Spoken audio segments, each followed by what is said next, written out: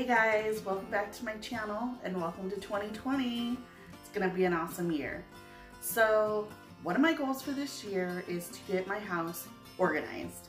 It's just out of control. My husband and I have so much stuff and it's just everywhere and it is time for everything to find a home. And my goal is to have this whole place organized by March 1st of 2020. That's in two months.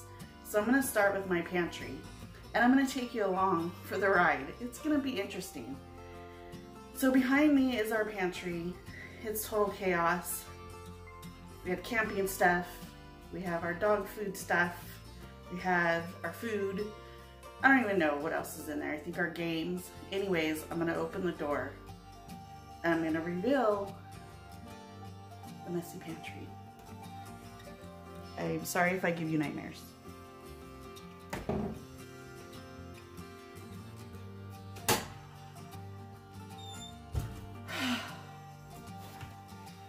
Can you guys see what I have to deal with? Like, I can't even really stock up on food because I have nowhere to like put everything. So I've sat down and I figured out different steps and things I can do to try and get this clean and organized once and for all because you hear it all the time that people get their stuff organized and then it just goes back. So first step, clear it all out, empty it all out, all of it. And then I'm gonna go through everything and if something's expired or doesn't belong in the food pantry, it's getting put to the side or thrown away. Um, and then I'm gonna categorize everything into groups and kind of figure out what I want baskets or containers and then go shopping for that stuff and I'm gonna take you with me. So let's get started. So things aren't going quite as planned. This is only half the pantry.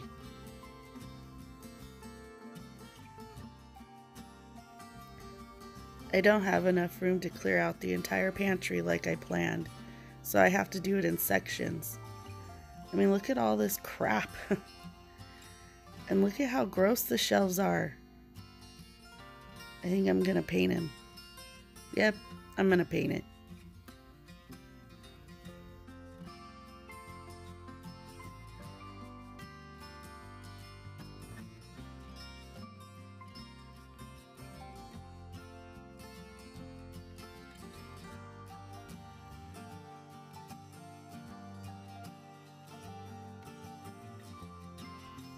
I'm trying to spend as little money as I can. So I took two whites that I had and mixed them together.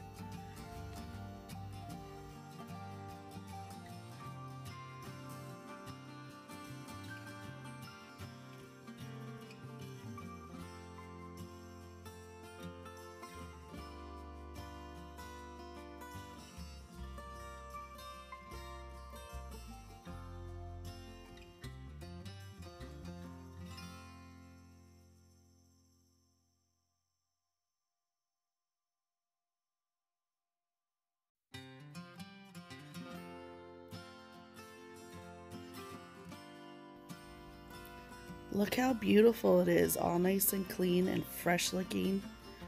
I even got down on my hands and knees and scrubbed the floor in there. It's so pretty now.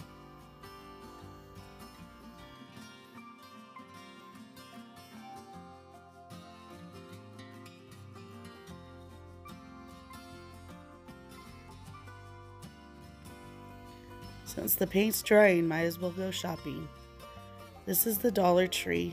I didn't get any video of the dollar store, but it's the same idea. Look at all this stuff for organizing.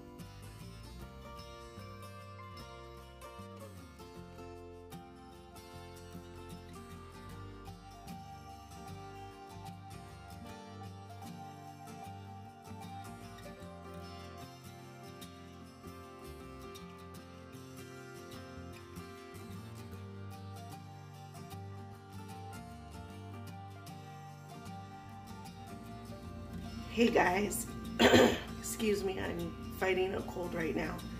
but I really wanted to try and get this video finished so that I could show you the big reveal. If you've been following me on Facebook, you'll have seen all the pictures that I've been taking of um, my hot mess that I've been working on. So let's get to it. All right, well here is the door. And before I open the doors, I just want to point out that I am going to be redoing this little entryway because it's a hot mess. When we moved in here, they did not paint things, update things, nothing. And uh, it's time for things to get cleaned up around here and we're just gonna handle it ourselves because we have a really cool landlord and our rent is really inexpensive. So I apologize for the hot mess you see right here. But let's open up the pantry and see what we got going on. Ooh. And there it is, all nice and organized. You guys, this took me over a week to do because I do work full time during the day, Monday through Friday. So even trying to get this done with the cold was a bit of a challenge. But look, everything's so nice and neat and organized and has a home. I can actually walk into my pantry now. I couldn't do that before. I'd have to like lean over to get to anything. So, I'm going to walk you through everything that I did and uh, yeah, hopefully I give you guys some good ideas for your pantry.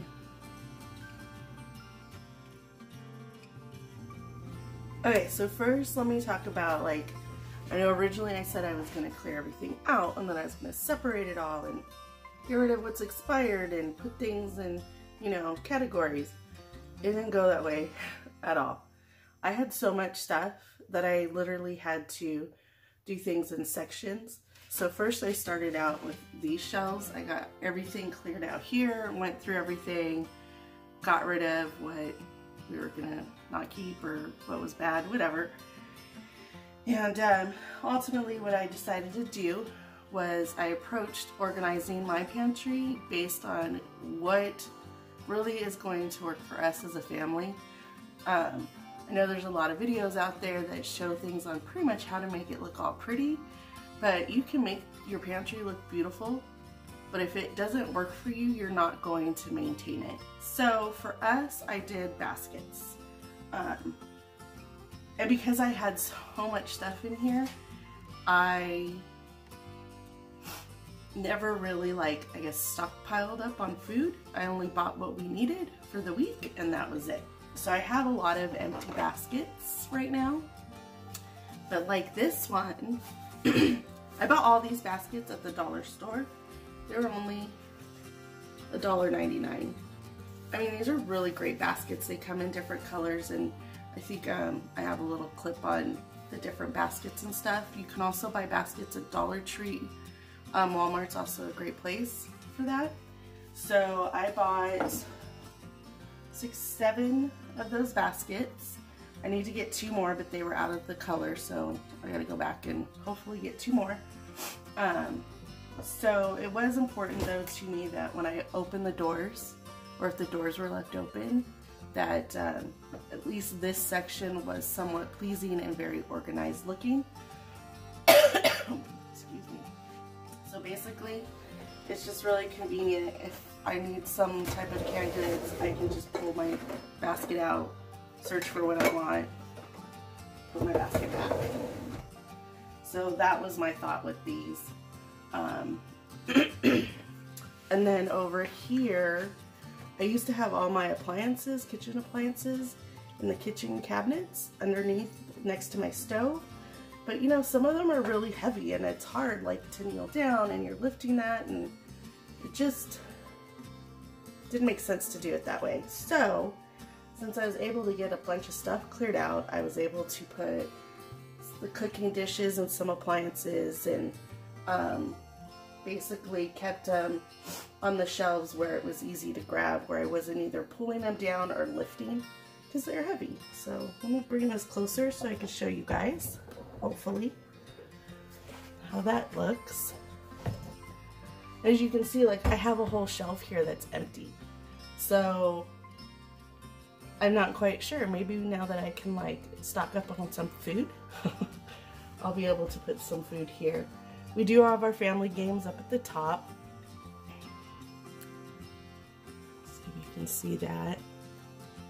And um, I'm hoping to eventually move those into our coat closet, but for now that's their home. And then down below, I don't know if this will show you guys. Okay, so down below here is where I put all our paper towels. And then I got these baskets also at the dollar store. I believe those were $2.99. And I stored, um, my husband loves these drinks, so I stored his drinks in there. Our reusable gift baskets, which the nice thing about that is these are plastic baskets, so I was able to kind of just shove it in there because it wasn't, it was a little bit bigger than that space, but it works. And then I have some extra little baskets that I bought. These were $1.50 at the dollar store, and I'm sure I'll be using those for something. Um, the plastic bags that we get from the store, I like to save them. So I just folded them up a certain way and stored them in a line in that basket. Here, obviously, you know, our uh, Ziploc bags, saran wrap, all that good stuff. I bought one of these like paper tray holders. I actually got this one at the Dollar Tree. So they were a dollar a tray. And that worked really good to hold all that stuff. Um, I do plan on buying one of those hooks to hang up right here for our broom and mops and stuff so that they're not just sitting on the floor. excuse me. Over here is our dog brushes, the bleach for our clothes, laundry detergent goes in there. Our dog food is over here. I also got these at the dollar dollar store. Those I believe were also $1.99 for each and they worked really good for our paper goods. And that one for our coffee. Well, my husband drinks coffee. Nobody else in here really does.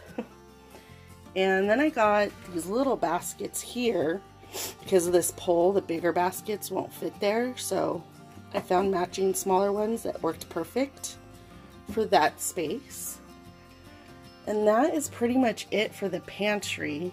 I'm going to go ahead and show you guys what I did in the kitchen area because this turned out to be uh, a pantry kitchen cabinet organization project. So let's head on over to, okay, so first I want to show you this cabinet. Now my kitchen is very small, I don't have a lot of space. And this is actually where I was storing all of our appliances.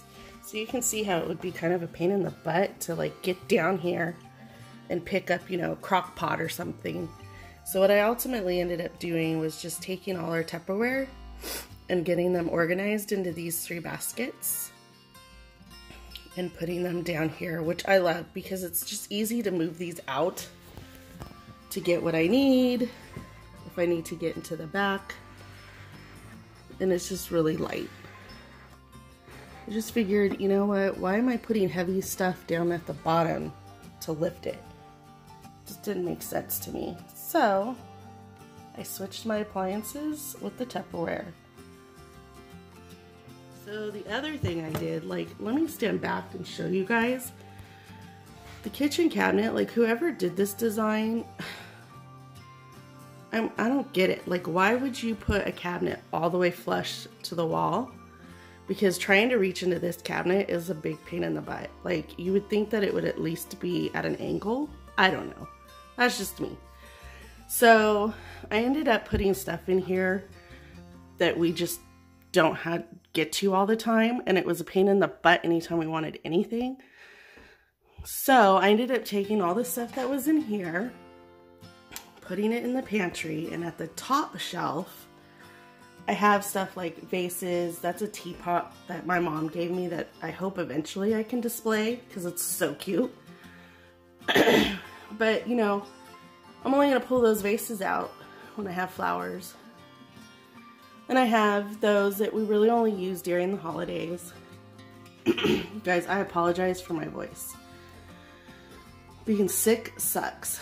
Um, then the other thing that I did is I took this shelf right here and I brought it up just enough so that I can lay all our water bottles across. And those aren't too hard to get to. and then I went to Walmart and I got this Lazy Susan. This is probably the most expensive thing that I bought. It was $20, but I absolutely love it. And it just makes it easy when I open the store. If I need medicine or my vitamins, my husband needs anything, we can just spin it.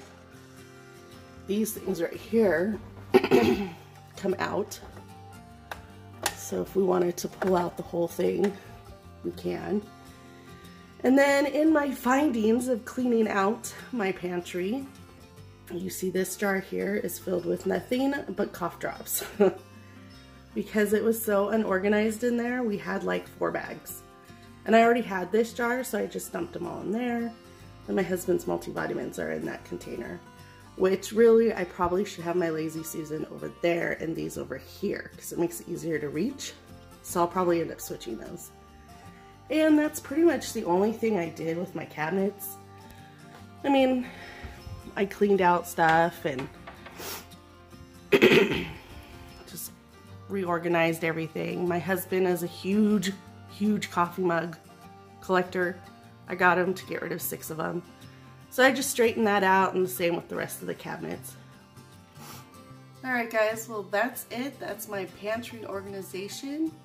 Um, just a few tips, things that I noticed as I was getting things organized. I got rid of a lot of stuff, things that we just never used. We've been together, married 13, 12 or 13 years, gosh, I don't even know. Um, and so there were just things that I was like, we don't even use this. Like, why are we holding on to this? It makes no sense. So I got rid of it.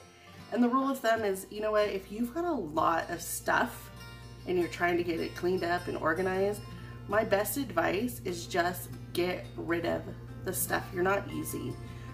Don't have that mentality of, well, what if I need it later? Well, if you need it later, you can go out and buy it, but you haven't used it up to this point, so you're probably not gonna need it later also. So keep that in mind. Also, when you're organizing stuff, you want to do things that make sense that work for your family. You don't necessarily want it to be pretty because as much as pretty is nice and pleasing to the eye, it needs to be convenient and it needs to make sense and it needs to work for your family. It needs to be functional. So that was the whole point of doing the baskets here, moving the heavy appliances over here, putting the Tupperware down in my cabinet down there. Excuse me gosh, the cold is just my, everybody at my office has been sick. They were all sick before Christmas and I'm the last one to get it. It really sucks. Anyways, um, so, and the other thing that I noticed is because I was leaving certain appliances and items in boxes thinking that, oh, it'll be easy to store and I can put it on a shelf and then stack stuff on top. It wasn't getting used. So there were two items that I did keep because they were left in boxes and I'm hoping that now that they're out and easy to get to, I'll use it. If I find that I don't within the next year, I'm gonna get rid of it. So those are my few little tips. Make it convenient, make it make sense. If you haven't used it, you're probably not going to use it, so you might as well get rid of it. Things are always replaceable. If you guys enjoyed this organization video, please give it a thumbs up. Let me know down in the comment what was your favorite thing about this whole organization, transformation. And if you'd like to see more videos on organizing, let me know because I got a whole house to do. So until next time, be safe, be healthy, have a great week.